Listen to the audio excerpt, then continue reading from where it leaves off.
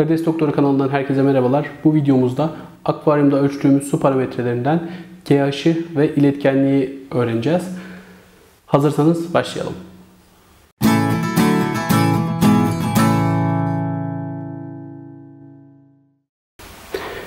GH, pH ve KH'e göre bizi daha çok uğraştıran bir parametre.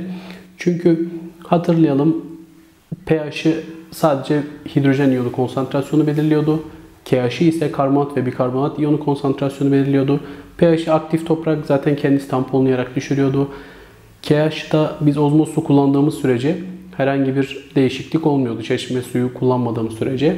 Ama GH'da işler biraz daha farklı. Neden? Çünkü bizim e, akvaryumda su değişikliği yapmamız lazım ve akvaryumdan eksilttiğimiz suyu yerine doldururken her zaman bu GH'i ayarlı şekilde koymamız lazım. Bu nedenle en, en geç 1 ay 15 günlük sürelerde biz bu değişimleri yapacağımız için GH konusunu iyi anlamamız lazım. Peki nedir bu GH? GH General Hardness kelimelerinin ilk harflerinden oluşur. General Hardness Türkçe'de genel sertlik anlamına gelir. Yani suyun sertliğinden bahsediyoruz. O zaman demek ki bir yumuşak su ve sert su diye bir kavram ortaya çıkıyor. Suyumuzun sert ya da yumuşak olmasını sağlayan şey nedir? Kabaca kalsiyum ve magnezyumdur. Yani bir suda kalsiyum ve magnezyum iyonları ne kadar artarsa o kadar sert su, ne kadar azalırsa o kadar da yumuşak sudan bahsediyoruz. Peki miktar nedir? Bizim kitlerle ölçtüğümüz bir GH 17 ppm'lik kalsiyum ve magnezyum iyonuna denk gelmektedir. Şimdi konunun biraz daha derinliklerine inelim. Aslında GH ile ölçtüğümüz şey bizim sadece kalsiyum ve magnezyum değildir arkadaşlar. Ölçtüğümüz şey bizim tüm artı değerlikli katyonlar. Kalsiyum, magnezyum, demir, selenyum, alüminyum, mangan bunların hepsi aslında e, GH'ı artırır. Ama bizim akvaryumlarımızda bunlar çok bulunmadığı için, eser miktarlarda bulunduğu için asıl bizim pratikte ölçtüğümüz veya pratikte söylediğimiz şey kalsiyum ve magnezyumun miktarıdır. Peki GH'ı neden ayarlamalıyız? Yani kalsiyum ve magnezyum bizim için neden önemli? Çünkü arkadaşlar bu iki element karideslerin biyolojik döngüsünde ciddi manada e, önemli yer teşkil ediyor. Özellikle kalsiyum, karidesin kabuğunun %30-40'lık kısmı sadece kalsiyumdan oluşuyor. Bu nedenle GH değerimizdeki anormallikler karideslerde kabuk değişim sorunları ve metabolizmal sorunlar olarak karşımıza çıkıp karideslerin hem hayat kalitesini bozup bazen de ölümlere sebep olabiliyor. Bu nedenle bizim GH'ımız her zaman optimal değerlerde olmalı ve su değişimlerinde de biz GH'ı ayarlı şekilde su değişikliklerini yapmamız gerekiyor. Peki karideslere göre ideal GH değerlerimiz kaç olmalı? Karidinalarda 5 GH ideal, neokaridinalarda ise 6 ile 8 arası GH ideal olacaktır. Peki nasıl ölçeceğiz? Evet GH'ın ne olduğunu öğrendik. Şimdi GH'ı nasıl ölçeceğimizi öğreneceğiz. Bakın arkadaşlar bu bir e, GH test, GH ölçüm kiti. JBL marka bir kit. Bununla GH'ımızı ölçebiliyoruz. Peki GH'ımızı nasıl arttırıp nasıl azaltacağız bunu da görelim. GH'ımızı GH Plus tozları veya likit sıvılarla artırabiliriz. Hazır şekilde piyasada satılıyor bu kitler. Bakın bu Şişerimiz Forever yerli marka bir e, GH Plus tozu. Bunu sıvımızın içine koyarak GH'ımızı yükseltebiliyoruz. Aynı şekilde sıvının derişimini azaltıp yani üzerine ozmoz su ekleyerek de GH'ımızı düşürebiliyoruz. Şimdi e, birlikte bir GH ölçümü yapalım. Öncelikle şu GBL marka GH testimizi bir inceleyelim. Bakın bunun içinden iki parça çıkıyor arkadaşlar. Bir tanesi içinde GH sıvısının olduğu yani daha doğrusu içinde test sıvısının olduğu bir kit. Diğeri de bir e, üzerinde ölçülerin olduğu bir ölçüm mekanizması. Bakın e, ölçüm kitimizin üzerinde rakamlar var. 5 mililitre, 10 mililitre, 15 mililitre ve 20 mililitre gibi. Bunları biraz sonra bahsedeceğim. Bu da bizim e, test sıvımız. Bununla e, ölçümümüzü yapacağız. Şimdi e, öncelikle uygulamalı olarak bir DH yükseltmesi yapalım. Bakın burada benim daha önceden ayarlamış olduğum ozmoz sıvısı var. Şimdi bunun üzerine bir miktar e, GH tozu dökeceğim ve sonrasında çalkalayıp ölçümümüzü yapacağız. Bunların içinden bu şekilde küçük kaşıklar çıkıyor arkadaşlar. GH Plus tozumdan bir miktar toz alıyorum. Sıvımın içine bunu döküyorum.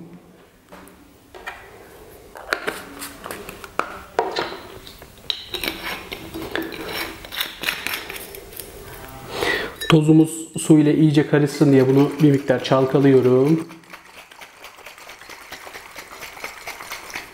Çalkaladım.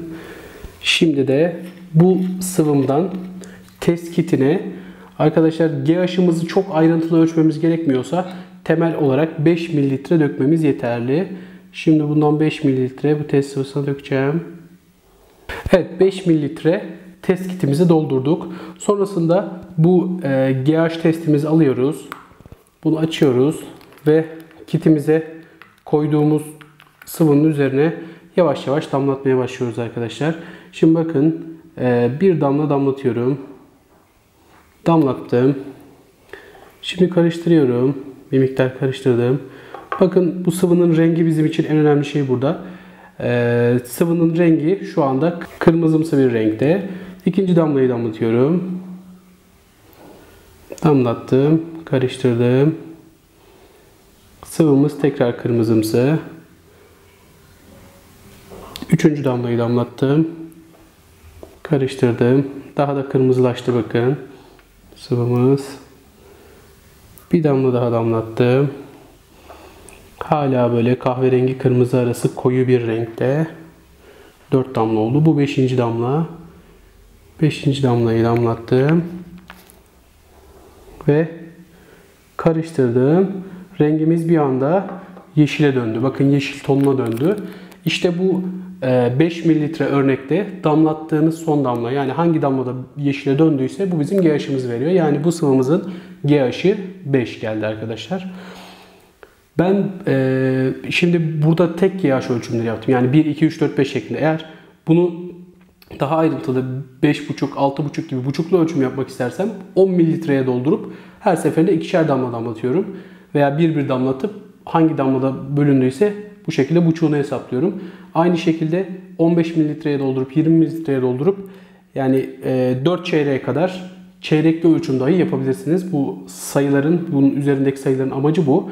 Ama bize bu kadar ayrıntılı bir ölçüm gerekli değil. O yüzden 5 mililitreye örneği doldurup her seferinde bir damla damlatıp sıvımızın GH'ını ölçmüş olduk. Bu sıvımızın GH'i 5 geldi. Yani karidinalar için ideal GH. Şimdi peki biz her sıvı değişiminde bu şekilde e, ayrıntılı GH ölçümü mü yapacağız? Hayır. Bu çok pratik bir yöntem değil. Ee, tabii sürekli standart miktarda bir su değişimi yapıyorsanız standart bir kap bulup onun içine belli ölçüde her seferinde e, GH Plus tozu koyup pratik şekilde ölçüm yapabilirsiniz ama birden fazla akvaryumunuz varsa ve su değişiminiz her seferinde değişiyorsa tek tek GH ölçümü çok pratik olmayacaktır. İşte bu noktada iletkenlik dediğimiz şey devreye giriyor.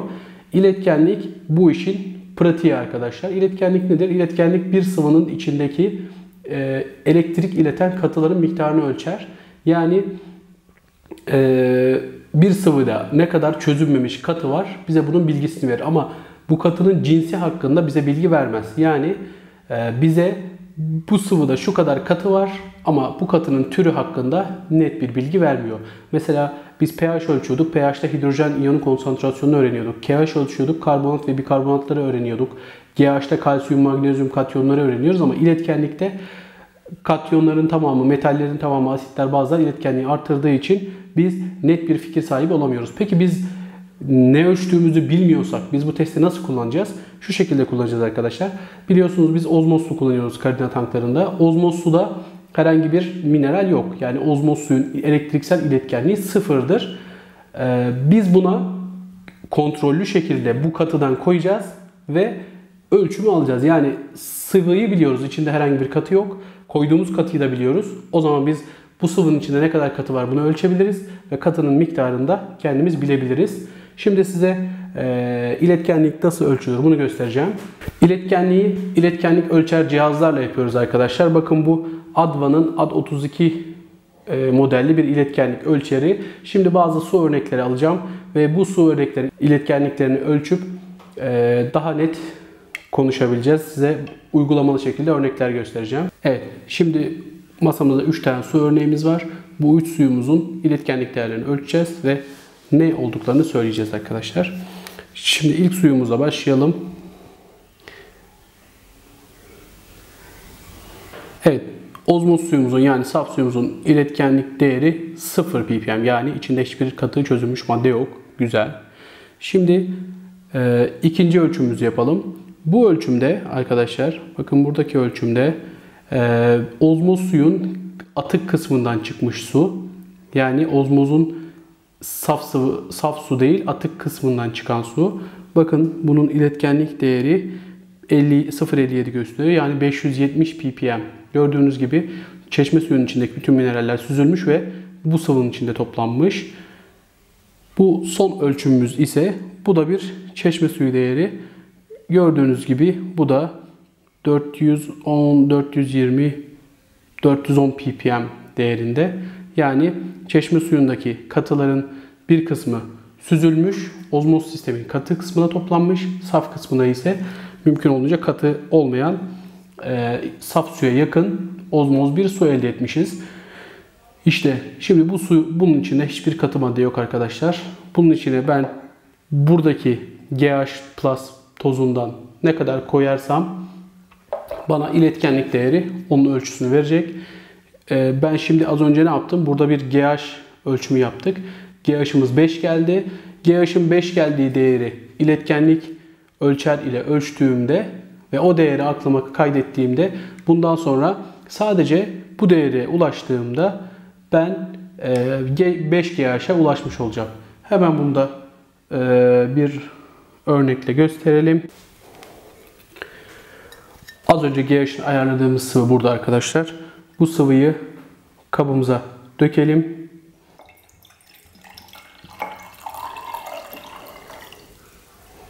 Bu sıvının iletkenliğini ölçelim. Böylelikle 5GH'ın kaç iletkenliğe denk geldiğini öğreneceğiz ve bundan sonraki su doldurmalarımızda sadece iletkenlik ayarlayıp GH ölçmeden suyumuzun GH'ını biliyor olacağız. Bakalım.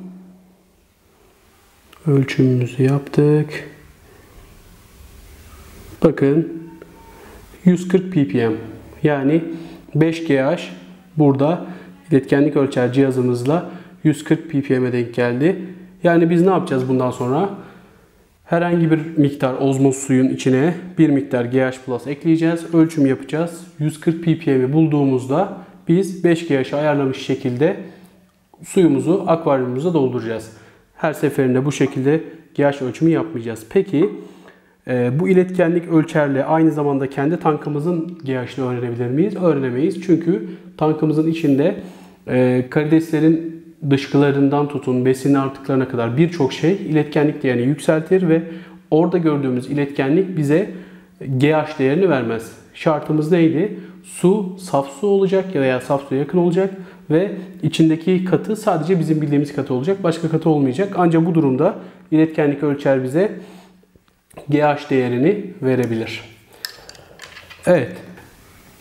Videomuzun sonuna geldik. Ee, bu konuyla ilgili yorumlarda bana istediğiniz soruları sorabilirsiniz. Bu konu başında da belirttiğimiz gibi GH ve iletkenlik konusu akvaryum parametrelerinden ölçülen değerlerin en karışıkları ama aslında bu kadar basit arkadaşlar. Yani bizim başından beri anlattığımız şey şu. Bizim ölçmemiz gereken gerçek değer GH ama GH sadece saf su ve bilinen katıyla iletkenlikle ölçülebilir. Böylelikle su doldurduğumuz su kısmını pratik şekilde ölçebiliriz ama akvaryumumuzda bize iletkenlik GH değerini vermez. Bizi yanıltır. Kanala abone olmayı, yorum yapmayı unutmayın. Kendinize iyi bakın. Görüşmek üzere.